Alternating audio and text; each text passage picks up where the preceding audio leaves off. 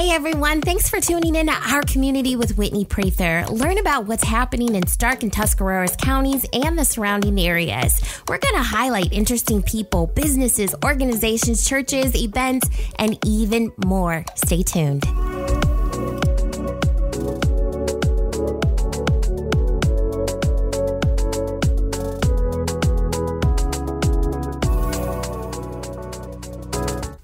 I'm excited to share Jennifer Dyer with you today. She's the Director of Operations at the Akron Canton Regional Food Bank. She's been with the food bank for 10 years and is living with so much purpose. If you've ever had a full circle moment, then you're going to be able to relate to this story. Jennifer was once food insecure, and now she's an integral part of an operation that helps families like the one that she was raised in. In this interview, she shares how it took courage for her to transition, and I want to encourage you today to be courageous in the face of uncertainty in your own life. There are many practical factors that keep us stagnant and in positions of safety. Well, the truth is, the safest place is actually in the will of God. So be sure to follow his leading because he is definitely speaking. Okay, so on to Jennifer. Enjoy this interview. Hey everyone, our community with Whitney Prather. I'm talking to Jennifer Dyer with the Akron Canton Regional Food Bank. Jennifer, how are you? Hi, I'm doing great. How are you? I'm great as well. It's awesome to see your smiling face. For those of you who don't know, we're doing this over Zoom, and I am joined by Jennifer's just bright and beaming face. Jennifer, so many people may be familiar with the food bank, but for those that are not, why don't you tell us about your mission? Sure. So um, the Akron Canton Regional Food Bank's mission is pretty simple. It's um, to feed people and to fight hunger. And um, for us, um, that's really, really important work. It's foundational work. Um, everyone needs to eat, it's a basic need. And um, very recently, we went through a strategic revision where we created a new vision, which is to have a thriving community free of hunger. And so that's our work. That's awesome. How has your operations changed during um, for this pandemic? Tell me about that.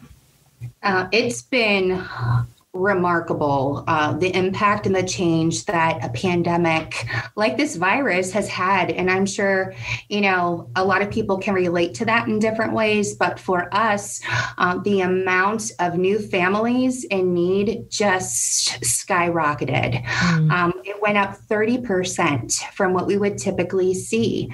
Um, our demand for food went up 20% and you know what really tugs at my heartstrings is the increased need like, you know there's a face to these numbers.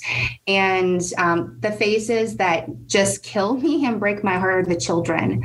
Yeah. and there was an estimated increase of 51% of children in need facing food insecurity. And um, for us um, that's our work. That's our, our mission and our purpose is to um, close those meal gaps. And sadly the meal gaps are widening right now. Mm. Um, so for us, um, we had to really get creative in, in how we accomplish this work because um, we had to protect our people here. And so a lot of the work that we do is done predominantly with volunteers, people that are willing to give up their time.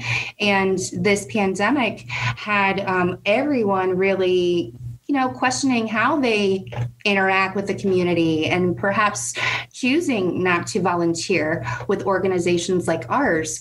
And so, um, what we had to do, we had to double down. Um, our staff has never worked harder than they have this year. But then also, we we've been incredibly blessed with the National Guard. So we've had um, over 40 National Guard members that have been at the food bank since March, since the beginning of this pandemic. And, you know, they say many hands make lighter work, and that's so, so true. And for us, um, the National Guard has really been such a blessing. Um, they have replaced those hands of volunteers that have come through and um, helped repack food boxes, emergency food boxes. Um, they have actually went out to different programs that we support and helped them repack food boxes and distribute food. We have had to engage them in helping to deliver food, which is new to the food bank. Um, so, with their military vehicles, they're going out there to local churches um, that are operating these small food pantries and helping, you know, bring the food closer to them. And then we also have um, on-site monthly food giveaways here at the food bank in Akron, and so they have been a part of that process. And um, again, that's new work. We've had to really shift, get creative, and think of new ways to get the food out to people as quickly as possible. Yeah. Yeah. Talk about an operation. So what are you what are you needing from the community how can the community engage with the food bank right now i know that you guys are open to donations how else can they engage volunteering don- donating Donating right now um, is the number one. Um, we need the financial support. Again, with this increased uh, demand for food, um, donations, local donations have have fallen off um, from our local grocers and retailers and manufacturers. And so, what we've had to do is get creative and buy food. Um, we've had to find new ways of getting the food here, um, and it's not it's not cheap to yeah. do that. So every dollar counts. Every dollar dollar creates four meals uh, for the community. So just think about, you know, that cup of Starbucks that you're getting in the morning, that $5 cup of coffee, that's 20 meals. Um, so um, a little goes a long way. Wow. And um, for me, when I first came to the food bank, that really put things in perspective. When I think about how I choose to spend money on, you know, my little holiday cup that I'm holding right now, yeah. Starbucks. Um, that is 20 meals that I'm holding wow. in my hand. So um, that's remarkable. That, that it really is. And um, that's the best way, you know. And if I think of who can't give a dollar, who can't give five dollars, um, and we've actually seen a, a, increase in support financially, but still the need um, is present and it's continuing to grow. And with this, you know, world of uncertainty that we're in right now, not not knowing what's going to happen, changes upon us, um, and not knowing what next year looks like, um, the more financial donations we can get, the better just to ensure that we are able to, you know, complete our mission and feeding people and, you know, bringing those increased statistics down of yeah. the number of children um, that are facing hunger and individuals facing hunger. We need to close the gap, not widen it. Mm-hmm. And we do that through the community support. But then also, you know, you mentioned volunteers and you know we have reopened for volunteers. The numbers are certainly a lot smaller than what we would typically have come in and host anywhere from 50 to 100 volunteers at a time. Well with covid we really had to again get creative and think of how we can safely host the community and have them come in to give up their their time and talents to help repack food for people in need. So um, we are limiting our volunteer group sizes to anywhere from 20 to 25. And you can go to our website, akroncantonfoodbank.org, and you can go to the Get Involved page and find a number of different opportunities that are posted to volunteer. Wonderful. Now, you've been there for 10 years in your role as director of operations. Um, you're really behind the scenes. Um, mm-hmm. Tell me about the times that you do get to interface with families or if that's changed during this pandemic at all. So, um, a couple years ago, we piloted an on site distribution, it's an on site food, food giveaway. Our uh, I would say core business model has not been to interact directly um, with those in need. Um, we are essentially the food distribution center okay. for over 500 programs throughout eight counties in Northeast Ohio. Okay. Um, it's Carroll Holmes. I have to use my fingers here. Carroll Holmes, um, Wayne, Tuss, Stark, Summit, Medina, and Portage um, are the counties that we support. And so um, these are predominantly predominantly faith based organizations, uh, local churches that choose to open up a food pantry to help their community directly, and they get their food from us. Um, so, although we may not be in your backyard, we are certainly help helping to put the food in your community. Um, so, that has been the traditional business model but again a couple years ago we wanted to find a way that we could complement the work that's being done in the community by those programs by also running our own and so this year in particular, um, we've seen a, a, rise in the numbers of families that would come to our on site distributions. Typically, we would have anywhere from four to 500 families. Um, at the peak of COVID, during a two hour on site distribution, we had over 1,800 families wow. come to our food bank in Akron. And, you know, there there's a face to hunger, uh, but every face is different. And you would be shocked to see the number of people that come through that mm. you just, you, you would never guess uh, that they are struggling with hunger. Um, and it's heartbreaking when you see that uh, family, uh, you see that woman, a single mother that's coming here that had never had to ask for help before. Um, we've had pretty emotional moments um, during these on site distributions where it just, again, makes my work feel so purposeful and our work uh, feel so purposeful in the community. Yeah you have a pretty remarkable connection to the food bank. And when I heard you share about your own story of being food insecure as a child, I thought, wow, how significant that you're operating and the role that you get to operate in. Um, you know uniquely what these families and these individuals are going through. How has your past and your present affected you? Well, I will tell you, I didn't realize growing up how significant it, it would be in my life uh, because I thought it was normal. Um, we were a family of six uh, living in a two bedroom home in the southwest end of Canton.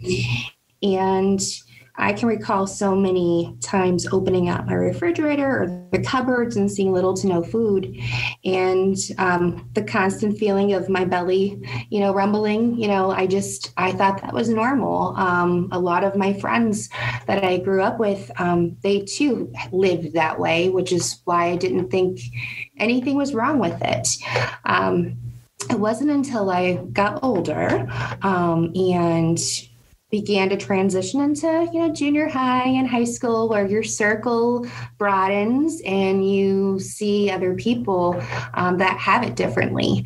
And um, for me that's where i went oh wow. Um, this is bad. This is this is not good. And thankfully um, my mother's mother, my maternal grandmother, she um, was the vice president of First Merit, and um, she made sure that we had food on the table. My mom was too proud to ask for help. Um, there's some shame that comes with it, an embarrassment, mm. and for her, um, she didn't really have the courage and bravery that it takes to ask for help. But my grandmother was able to to provide food. So once a week, she would take us grocery shopping, and she would make sure that her grandchildren and her daughter and the family were all fed. Um, but even then, it still wasn't enough. So um, for me, it kind of set the stage for you know direction for me um, in my life as far as my career is concerned um, things that you think you want. Um, and for me, I, I swore I never wanted to be in that position. I never wanted um, my kids to open the refrigerator and see no food. So I did everything within my power to make sure that they would have a different life. Mm. And I'm sure a lot of people share in that same belief, um, regardless of how they were raised and brought up, is that we always want better for our family and for our kids. And so that was it. It just kind of set the stage for me and my career, my academics, and um, where I'm at today. I chose this path because of how I grew up. Yeah. Well, talk to me a little bit about some of the mindsets that you had starting out as soon as you got on your own. You know, you were determined to succeed. I can mm-hmm. imagine, you know, you just setting out with with thinking like, you know what? I'm not going to go that path. I need to I need to focus on this. I need to focus. So tell me a little bit about that. And it, it ultimately ended you up in a in a role at FedEx. Right.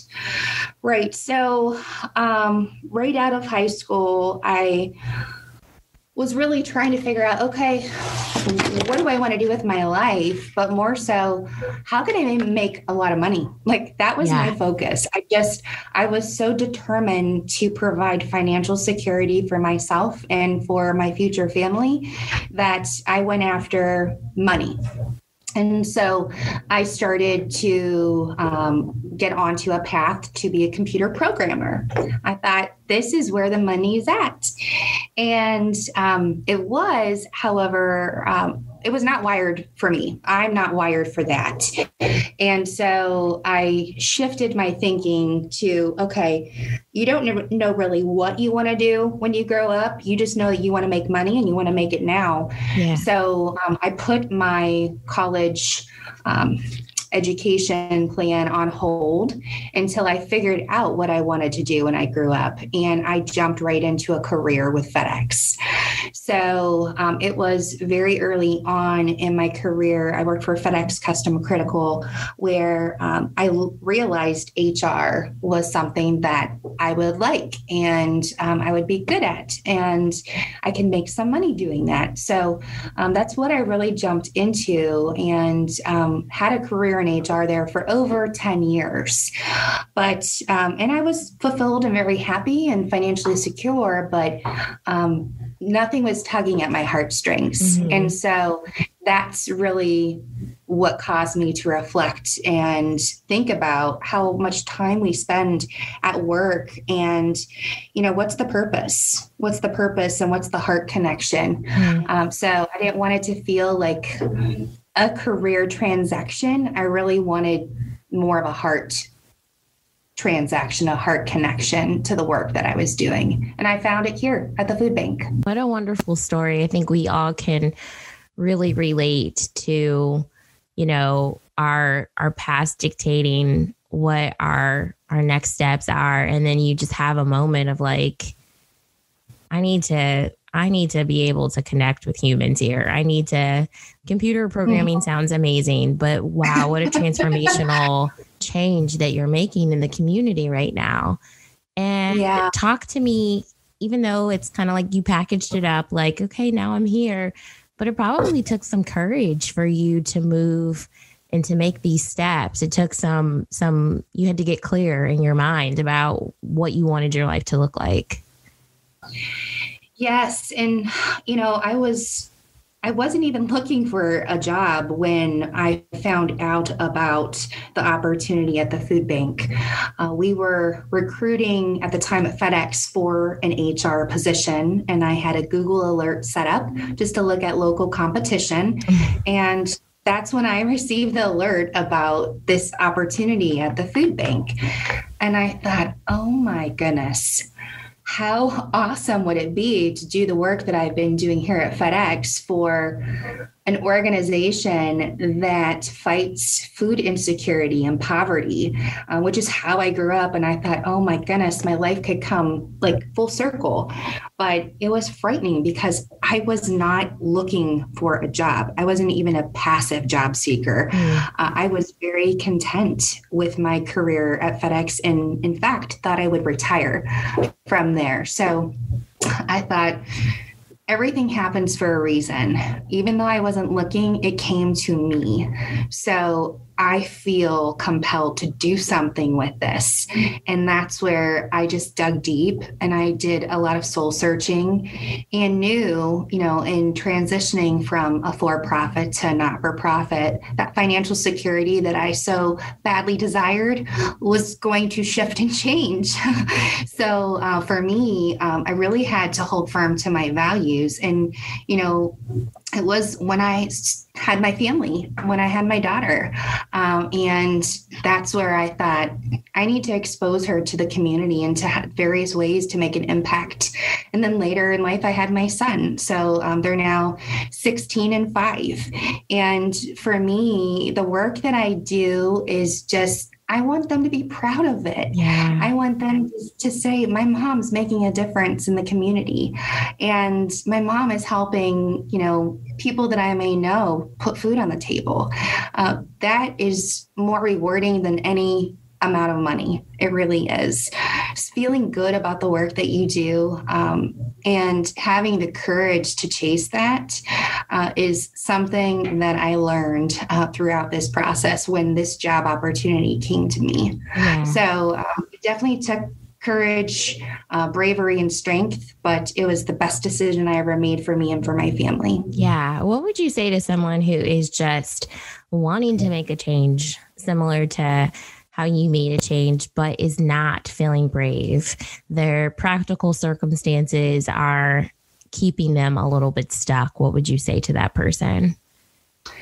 I would say um, to lean on your your tribe and your network of people uh, that can be an advocate for you, an encourager for you, mm-hmm. and um, just even a sounding board to to talk and you know what is it that you're doing that you love what is it that you want to do that you're not currently doing. And to think about again what's going to make you feel good at the end of the day? What's going to make you feel good about yourself and going home and saying this is what mommy did today at work. Mm-hmm. um, and this is what daddy did today at work um, to, to share that piece of you with your family.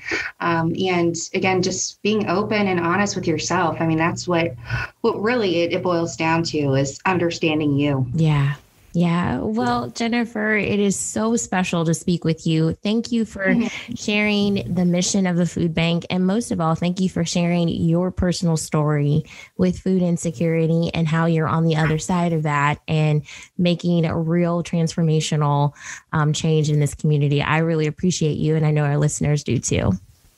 Oh, thanks so much, Whitney.